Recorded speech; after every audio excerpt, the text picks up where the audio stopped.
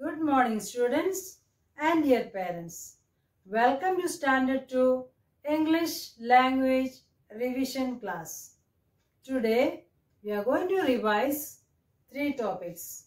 The first one is answer these questions in a complete sentence.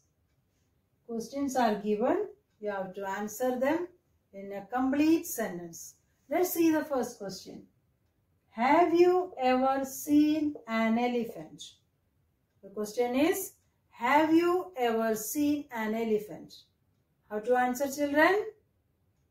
Yes, you all must have seen elephants. So, yes. Yes, comma, I have often seen an elephant. Full stop. Remember, start with a capital letter and with a full stop. If the answer is starting with yes, here we will have to write often. Yes, often. If the answer is starting with no, no, never. Okay, children. Let's do the next question. Did you drink a glass of milk today? This question is in past tense. So you will change the verb into past tense. Let's do. Did you drink a glass of milk children? So all are drinking milk every day. So we will write yes. Yes. I drank. Drink will change into drank. A glass of milk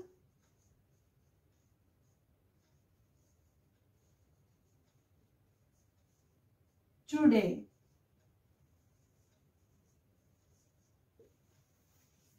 Read and see the question answer is complete or not. Yes, I drank a glass of milk today. Yes, the answer is complete. Let's do the next one. Can you write with your left hand? The question is, can you write with your left hand? Right? The answer starting with no. No, comma, I cannot write with my left hand. Full stop. Now there are children those who can write with their left hand. So what answer they will write? They will write, yes, I can write with my left hand. So the answers may vary. So children, you will practice more question answers from your worksheet. Our next topic is unscramble the words and put them in correct order to form sensible sentences. What is a sentence? A sentence is a group of words that has complete sense. You have already learned that a sentence has two main parts. Which are they children? They are subject and predicate. The person, place, things or animals we speak about is called subject and what we speak about the subject is called predicate. The is an article we use before the names of particular place, things or animals. So here we start with the cow. The cow is the subject of this sentence. Now what we speak about cow? The cow is a useful animal.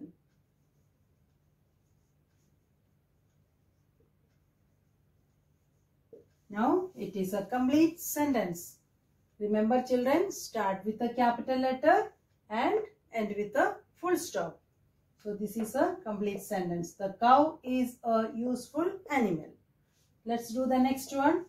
Here the subject is the name Anu. Now let's see what is talking about Anu. Anu loves to play with her friends. Full stop. Now it is a complete sentence.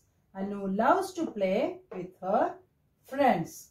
Now let's do the next one. Sitting, monkey, the, on, tree, a, is. It's a group of words. Now let us see the subject in it. Here the article and then the noun monkey. The monkey is the subject. Now what is the predicate children? What we talk about the monkey. The monkey is sitting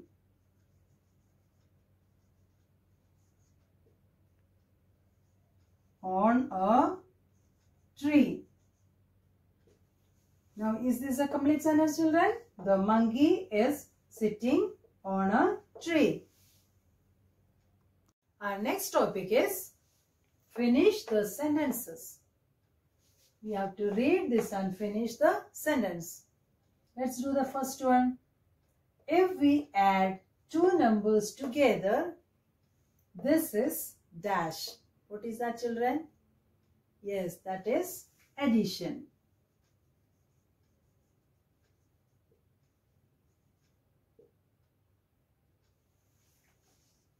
Let's do the next one. Number two.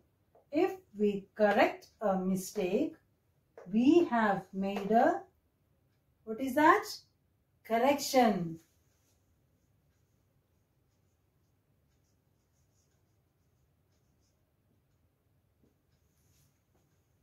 Next one. If something is made of wood, it is dash. What is it children? Can you say? Yes, wooden.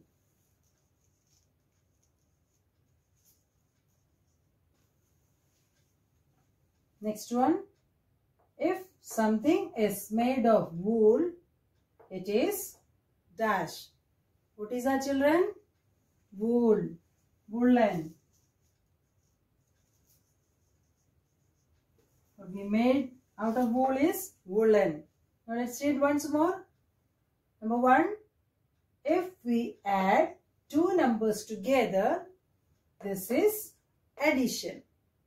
Number two, if we correct a mistake, we have made a correction. Number three, if something is made of wood, it is wooden. Number four, if something is made of wool, it is woolen. Parents, worksheets related to these topics will be uploaded on your school website. Kindly go through it and help your child to learn. Thank you.